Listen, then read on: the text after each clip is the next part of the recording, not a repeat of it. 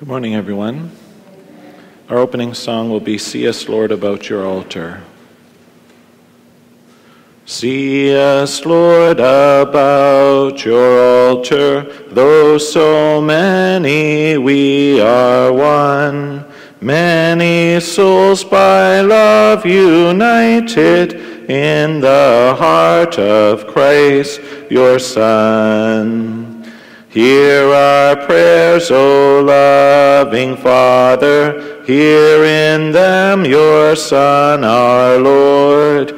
Hear him speak our love and worship as we sing with one accord. Once were seen the blood and water, now are seen but bread and wine. Once in human form he suffered, now his form is but a sign. In the name of the Father, and of the Son, and of the Holy Spirit, my brothers and sisters, the Lord be with you. As we gather at this Mass, we pray in a special way for the repose of the souls of Giacomo Grassi, Basilio Pompetti, Bill Rapko, and Ann Kelly, and those in our book of life. Gathering our prayers into one, let us recognize our sinfulness before our God and turn to Him for mercy, for He is full of gentleness and compassion. You are sent to heal the contrite of heart. Lord, have mercy. You came to call sinners. Christ, have mercy. You plead for us at God's right hand. Lord, have mercy. May Almighty God have mercy on us, forgive us our sin, and bring us to everlasting life. Let us pray. O God, protector of those who hope in you, without whom nothing has firm foundation and nothing is holy, bestow in abundance your mercy upon us, and grant that with you as our ruler and guide, we may use the good things that pass in such a way as to hold fast even now to those that ever endure.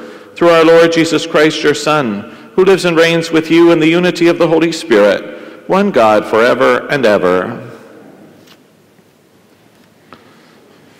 A reading from the book of Revelation. Then the voice that I had heard from heaven spoke to me again, saying, Go and take the scroll that is open in the hand of the angel who is standing on the sea and on the land. So I went to the angel and told him to give me the little scroll, and said, he said to me, Take it and eat it. It will be bitter to your stomach, but sweet as honey in your mouth. So I took the little scroll from the hand of the angel and ate it. It was sweet as honey in my mouth, but when I had eaten it, my stomach was made bitter. Then the angel said to me, You must prophesy again about many peoples and nations and languages and kings. The word of the Lord. How sweet to my taste is your promise. How sweet to my taste is your promise. I delight in the way of your decrees as much as in all riches. Your decrees are my delight. They are my counselors. How sweet to my taste is your promise. The law of your mouth is better to me than thousands of gold and silver pieces. How sweet are your words to my taste, sweeter than honey to my mouth. How sweet to my taste is your promise. Your decrees are my heritage forever. They are the joy of my heart. With open mouth I pant because I long for your commandments. How sweet to my taste is your promise.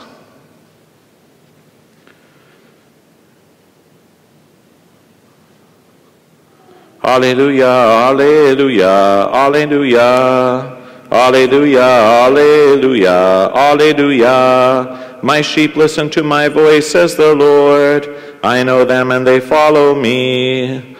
Alleluia, alleluia, alleluia. My brothers and sisters, the Lord be with you. A reading from the Holy Gospel according to Luke. Jesus entered the temple and began to drive out those who were selling things there, and he said, It is written, My house shall be a house of prayer, but you have made it a den of robbers. Every day he was teaching in the temple, the chief priests, the scribes, and the leaders of the people kept looking for a way to kill him. But they did not find anything they could do, for all the people were spellbound by what they heard. The Gospel of the Lord. Praise to you, Lord Jesus Christ. May the words of the Gospel wipe away our sins. Amen. What's important to understand in today's Gospel is that Jesus teaches with authority. There's a difference between somebody who speaks and somebody who speaks with authority. For instance, when I would try to get my brothers to do something, they were reluctant because I'm just their brother. But when mom asked them to do something, they had better do it quickly or there would be a consequence, right? So there's a difference between somebody who speaks and someone who has authority. Though I told them that I had authority over them as the older brother, they were reluctant. But when mom speaks, we listen. And that's the way it should be. And sometimes that's not the way it was, but you get the point. When Jesus is speaking, Jesus is able to identify problems within the culture at that time because he's not only speaking truth, but he speaks the truth with authority. So, when he's talking about turning a house of prayer into a den of robbers and thieves, we have to understand that the temple was not only like this, the place of worship, but in the foyer outside, there would be the marketplaces, etc. And the focus of the people at that time was so much on the external and very little on the internal. Sadly, that's often the case in our lives too, isn't it? We can become so preoccupied with the external that we focus very little on the internal. And yet, Jesus is wanting our souls and our bodies to remain temples of the Holy Spirit. That we are to engage in daily prayer, that we are to conduct ourselves in ways that are holy and pleasing to God, so that we too can remain, as the day of our baptism, holy and blameless in the sight of God. It is important also for us to identify that Jesus is preparing to be arrested and, of course, give up his life on the cross for us. These readings at the end of our liturgical year in these final two weeks talk about the coming of God. That's why we read from Revelation. And we continue to see this idea of how the Word of God is not something that is just to make us feel good all the time. The Word of God is always good because it is true. But sometimes it's quite challenging and difficult to follow the commandments and teachings of God. Thereby, our stomach may feel a little bit bitter. And yet, we never regret it because it is sweet to the taste. The more we reflect on doing what is good and following the commandments of Jesus, we never regret it. Even if the good guy finishes last here on earth. Earth does not have the final say. Heaven is the final say as God is so merciful to us that he will open the gates of heaven. So, friends, let us look to our own bodies, to our own souls. How much care and focus am I doing on my soul? When's the last time I went to reconciliation? What a beautiful opportunity tomorrow to go. When's the last time I stopped my crazy, busy life and spent good quality time with God. Let's seize the opportunity of today and focus on the internal. Let us pray. As we approach the throne of the Father and offer to him our prayers, we are confident that God always listens. And so, with great confidence, we pray. Our response is, Lord, hear our prayer. Let us pray for Pope Francis May the Lord guide and sustain him in all he does, we pray. Let us pray for lawmakers. May God bless them with fortitude in their efforts to protect the dignity and sanctity of all human life. From conception through natural death, we pray. Let us pray for all who mourn the loss of a loved one. May the Lord fill them with his presence and console them, we pray. Let us pray for an increase in vocations to the priesthood, religious life, and the diaconate. Especially in our great diocese, we pray. Let us pray for an end to the spread of the coronavirus, for all those affected by the virus, that they may be healed by Jesus, the divine physician, for all frontline and medical workers, that God may keep them safe, for researchers to find a vaccine, and for all who have died as a result of their virus and the families left behind that God may be their comfort and peace, we pray. Let us pray for all who have died. We remember especially Giacomo, Basilio, Bill, Anne, and those in our book of life. May they rest in the peace of the Father's embrace, we pray. And for all the intentions we hold within the silence of our hearts.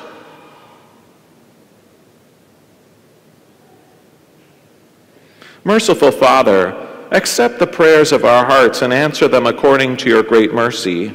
We ask these and all things through Christ our Lord.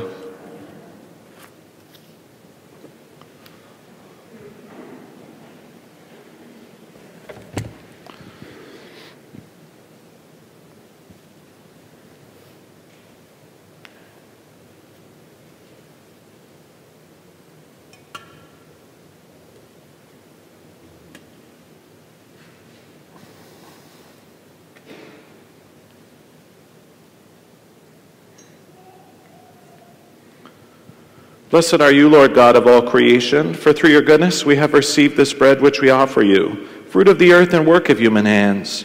It will become for us the bread of life. By the mingling of this water and wine, we come to share in the divinity of Christ, who humbled himself to share in our humanity. Blessed are you, Lord God of all creation, for through your goodness we have received this wine which we offer you, fruit of the vine and work of human hands. It will become for us our spiritual drink. With humble spirit and contrite heart, may we be accepted by you, O Lord. May our sacrifice in your sight this day be pleasing to you, Lord God. Wash me, O Lord, of my iniquity. Cleanse me of my many sins.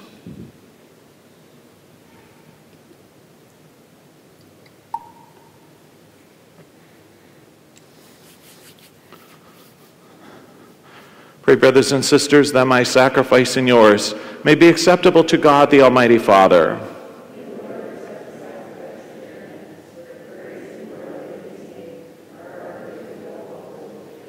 Amen. Accept, O Lord, we pray, the offerings which we bring from the abundance of your gifts, that through the powerful working of your grace, these most sacred mysteries may sanctify our present way of life and lead us to eternal gladness through Christ our Lord. My brothers and sisters, the Lord be with you. Lift up your hearts. Let us give thanks to the Lord our God.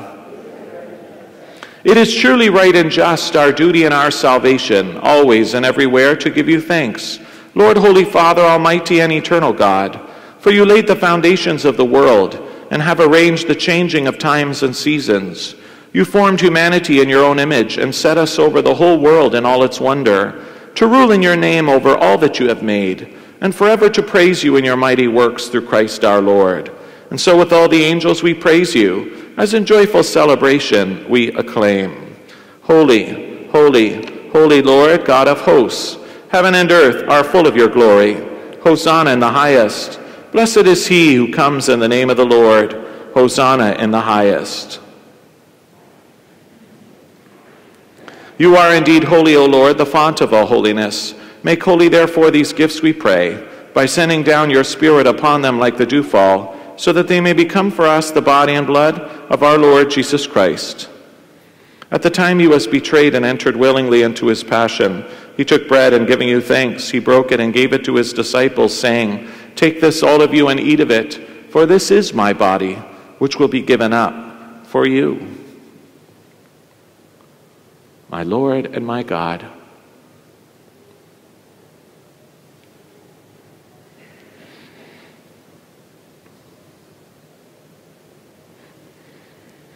In a similar way, when supper was ended, he took the chalice and once more giving thanks, he gave it to his disciples, saying, Take this, all of you, and drink from it, for this is the chalice of my blood, the blood of the new and eternal covenant, which will be poured out for you and for many for the forgiveness of sin. Do this in memory of me. My Jesus, mercy.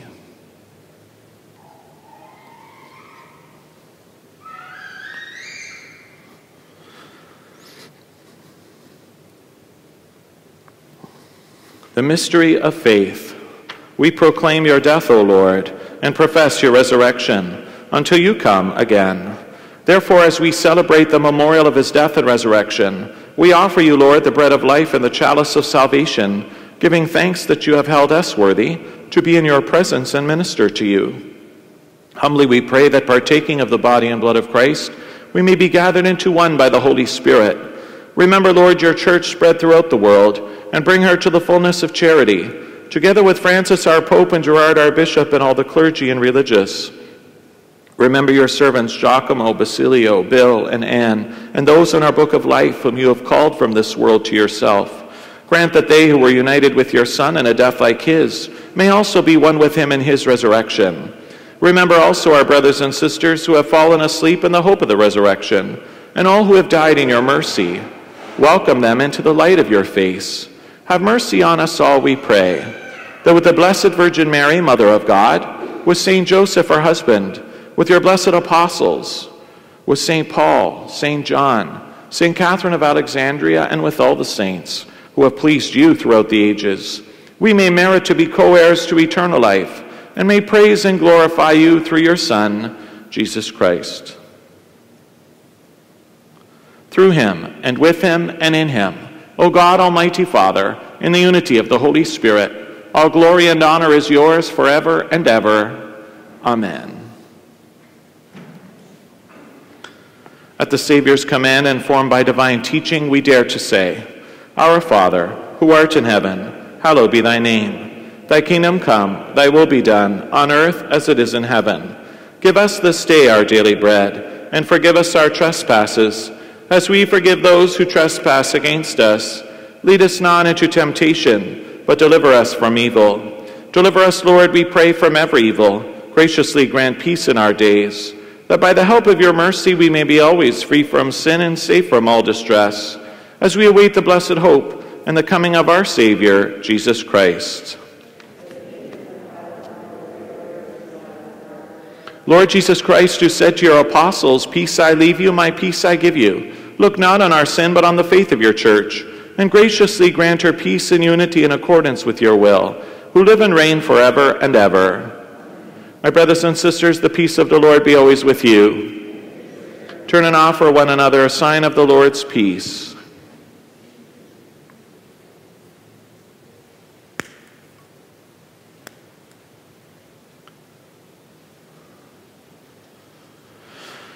Lamb of God, you take away the sins of the world, have mercy on us. Lamb of God, you take away the sins of the world, have mercy on us. Lamb of God, you take away the sins of the world, grant us your peace. Lord Jesus Christ, Son of the living God, who by the will of the Father and work of the Holy Spirit, through your death gave life to the world, free us by this your most holy body and blood, from all our sins and from all that is evil. Keep us faithful to your commandments, and never let us be parted from you.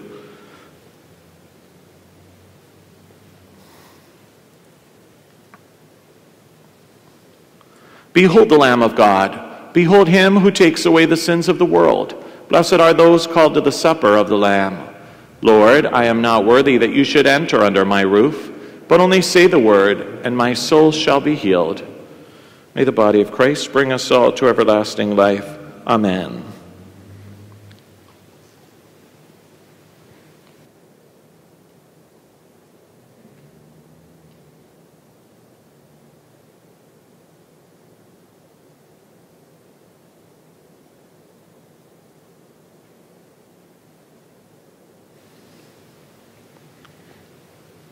May the blood of Christ bring us all to everlasting life. Amen.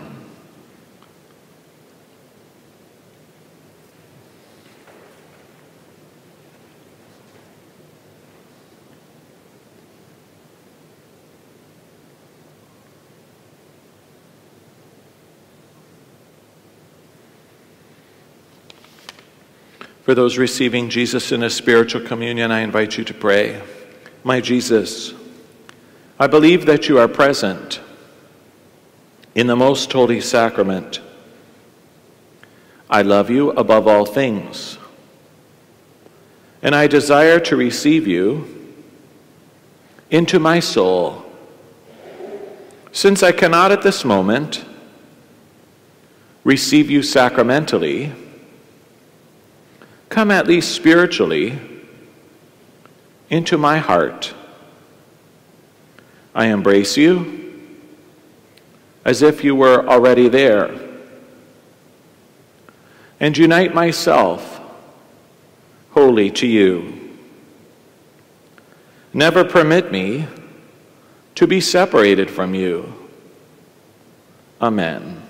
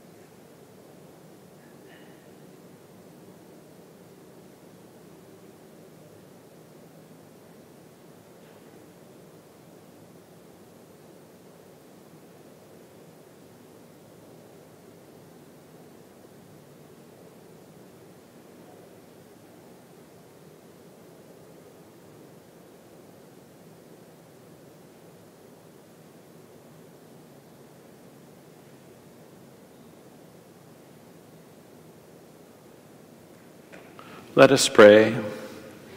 We have consumed, O Lord, this divine sacrament, the perpetual memorial of the passion of your Son. Grant, we pray, that this gift, which he himself gave us with love beyond all telling, may profit us for salvation through Christ our Lord. Let us turn to our Blessed Mother as we pray. We fly to thy protection, O Holy Mother of God. Despise not our petitions and our necessities, but deliver us always from all dangers. O glorious and blessed Virgin. Amen. Saint Michael the Archangel, defend us in the day of battle. Be our protection against the wickedness and snares of the devil. May God rebuke him, we humbly pray. And do thou, O Prince of the heavenly host, by the power of God, cast into hell Satan and all the evil spirits who prowl through the world, seeking the ruin of souls. Amen. My brothers and sisters, the Lord be with you. May Almighty God bless you, the Father, and the Son, and the Holy Spirit. The Mass is ended. Let us go forth in the peace and love of Jesus Christ. Friends, as you leave the parking lot today, please be cautious of the construction. Thank you.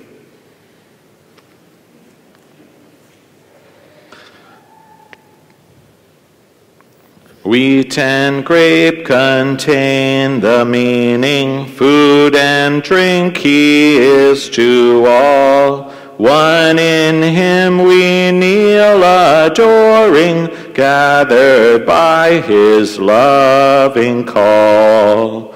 Hear us yet, so much is needed in our frail, disordered life.